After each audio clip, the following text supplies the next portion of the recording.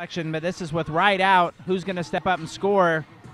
It's got to be Gaines, and Gaines is unable to get the ball. And Ian Clark, good patience, kept the dribble alive, scoops up and under.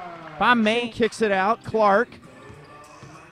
Left-handed dribble into the paint, turns. Nice touch that time by Ian Clark. Yeah, and nice. he hits the six-footer. Nice job. He actually. The Iowa Energy have been especially fit here in the second half as they've raced their way to the sizable lead on Bakersfield.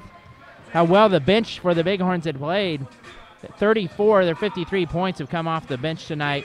15 from Rashad. The arms of Brian Butch, Chris. You talked about the length on this Bakersfield defensive front. And another turnover. That's the fifth turnover on LA, and it leads to an easy basket and back on the other end. 53-37 with 42 seconds left in the half. Eight to shoot for Clark, guarded by Kelly. Clark driving, floats that one home, and for break, and he wisely does so. Damion James was posting up, wanted it. Here's Clark. Clark finds space, gets to the cup, and a nice little nifty finish. What made him a lottery pick in the NBA, but limited minutes so far for the Wolves. Just 11 games, averaging about a point per contest. And Clark. 13 on the shot clock for Bakersfield. Clark, little shimmy shake into the lane, trying to go over the top, and he does. A little floater over the head of Jamario Moon, nearly hit the rafters there. Cam gets the steal in traffic. Follow there by Ian Clark.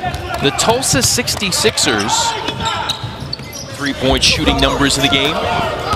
Teague got to the hole again, but no bucket that time. Clark now, piping hot. Drafted rookie guard from Belmont University, was the MVP of the 2013 Summer League in the NBA, and that was with Golden State. And after the Summer League was older, the Utah. This game getting ready to showcase their skills. Another assignee, Marcus Teague from the Chicago Bulls. Can't hit the jumper, run out there, and Ian Clark.